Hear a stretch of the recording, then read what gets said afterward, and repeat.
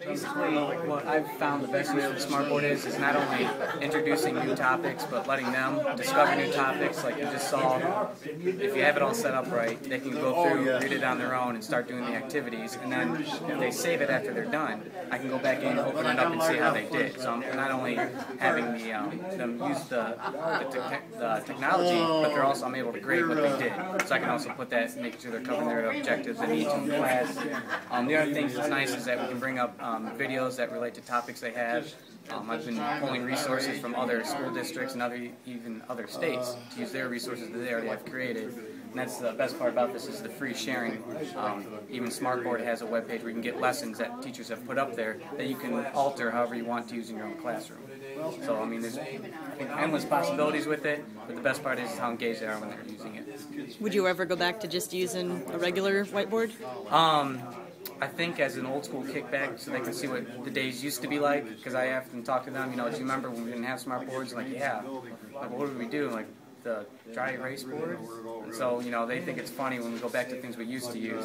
But now they're so familiar with this, especially in our school, that this is expected every day. This is what we're going to do our work on. You know, as far as taking notes, if we're taking notes or doing activities. where you have to do like upgrades, updates, or update automatically. Well, this program in particular, if you, um, they actually have the updates just for this program, so it's called the Teacher's Toolkit. And you go in there and update it to see if anything new has been put on. So you don't have to go through the web pages or anything. Oh, we forgot to. I wonder if I can do it. You think, can y'all show me how to do that? Wait a minute, what'd you just do? Can you just hit it like that and it doesn't hurt? Well, they said, Mr. McGlowan, that I didn't really, you can Put take. the pen uh, down, Savannah. Let's see what happens. Literally, you know, you you hope it never happens, but you can, and it'll still work. Because they went someplace and there was one of the, someone had one someplace, and there was a hole in it, and it doesn't matter, it still works. We had two fours.